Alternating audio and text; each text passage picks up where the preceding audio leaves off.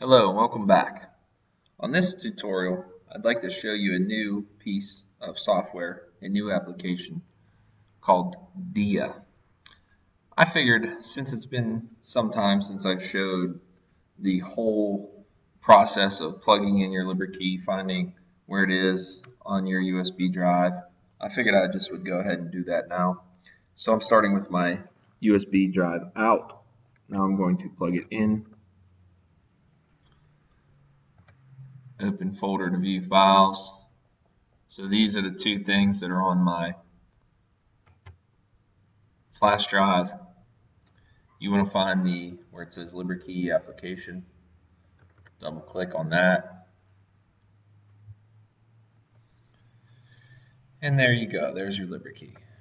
So the tutorial right before this one, I explained how to install Dia and Inkscape, which we will be using for our advanced tutorials. And so Dia should be on your LiberKey. Dia is found under Office and under Diagram Editor. Go ahead and double click Dia.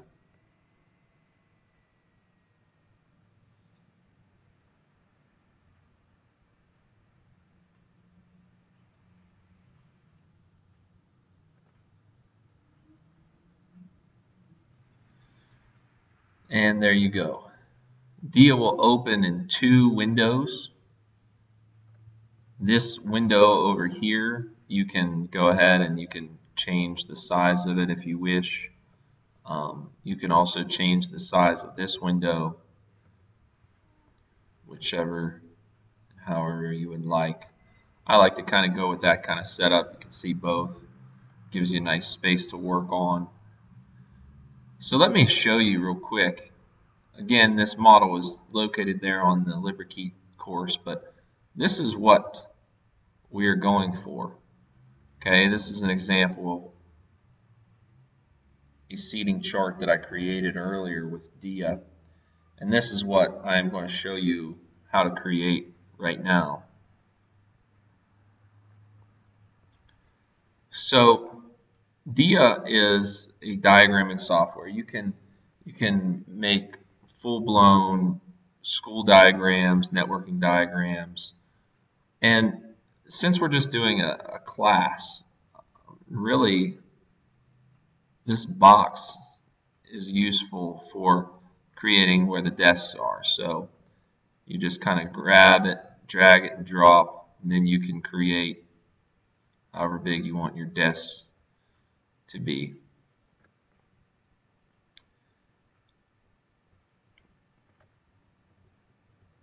if you want to grab it, you just go ahead and up here and you left click on the arrow and then you can grab and, and move it around.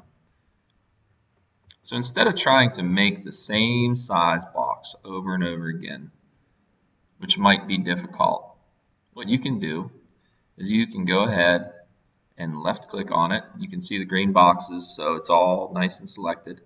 And then you can, using your keyboard, hold down Control and click the letter C. Now you have copied that box. To, so to paste that box, you click Control V. And you can do that many times as you need to create your desk for whatever type of room setup you have. And then you can just use the little selector tool and move those around.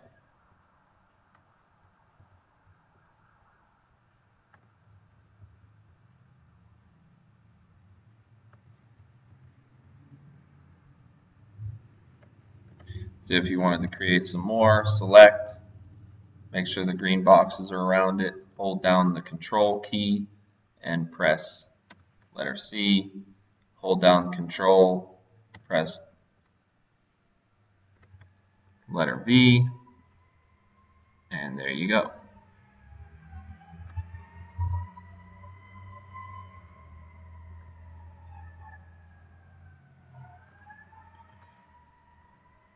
So there you go. We have 12 desks. So say you have a pretty traditional setup with your desks in a row. You can go ahead and move them around into four rows of three.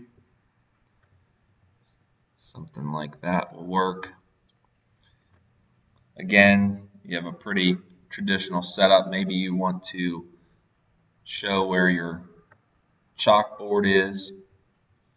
So you can just take that little box and put that there. Take another box. You just select on one of these green boxes and you can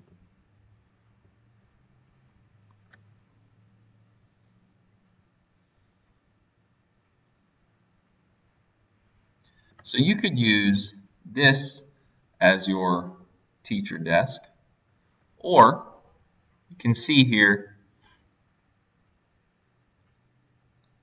on this down arrow this will show you different sheets, they call them, of little icons, little pictures. So depending on what you are trying to show, these sheets will give you some options. So say you wanted to be fancy, you could go to Cisco miscellaneous sheet and how would you get there? You go to other sheets, Cisco miscellaneous. And when you click on it one time, then it puts it on this permanent list. So under Cisco miscellaneous, say you want to use this androgynous person as your desk instead. Just to be a little fancy. So go ahead and select that boring desk and say that here you are. And let's try to show where our door is. And as you can see on my example, the way I did that is I just used a line showing that it was my door opening. So there's your line. You can just grab the green boxes and make it however large you want. So there you go. Okay, so there's our basic general setup. Now, say you really wanted to use this seating chart and you wanted to put it into your substitute folder for when you miss a day of school when you have a substitute coming in. You would want to add some text to this chart. So that's this button here where it says text. Go ahead and left click on that. Come over to your box. And so you say student number one. And then click off of it. And then if you want to select that text to move it, make sure you select your arrow. And then you can go ahead and move it.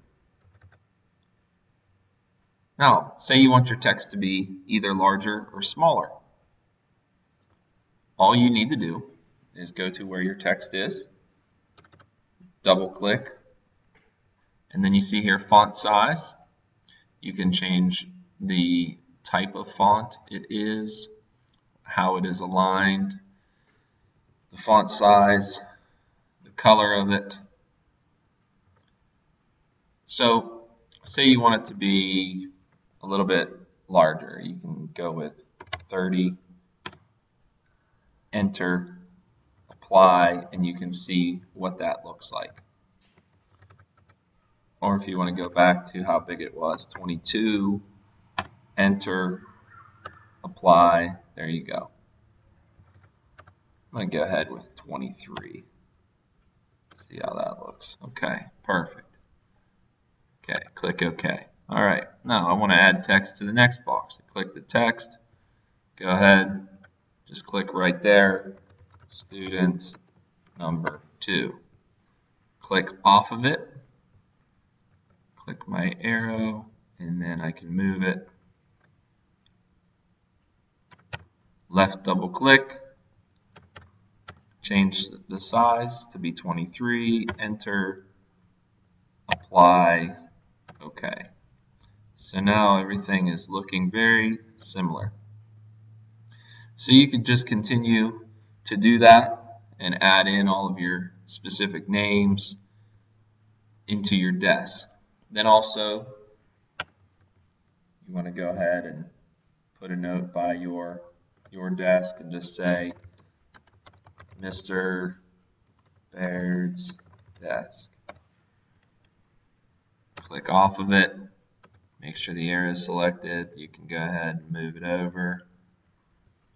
Okay. You want to make a note that this is your chalkboard or whiteboard, whatever you may have. There you go. You want to make a note that this is your door. Click off, make sure that arrow is selected, and then you can move it to wherever you would like.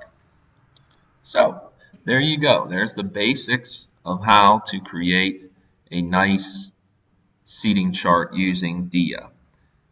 Don't be afraid to take a look at these other sheets to find maybe some other useful tools. One of the other things that you may have noted on my example was that I used a projector picture. And actually that projector picture you can see is right here and it's actually a video camera but I thought it looked pretty similar to a projector. And so if you have a projector in your room you can go ahead and, and use one of these video cameras maybe as, as an option. And then the other thing that I created was a little media cart. All I did for that was I took a box, created a nice little box, and then can take these little ellipses and make them into wheels. And if you want to look at any particular part of your picture a little bit larger, you can change the zoom down here in the left hand corner like I just did. And then you can get the sizing of your of your wheels to be a little bit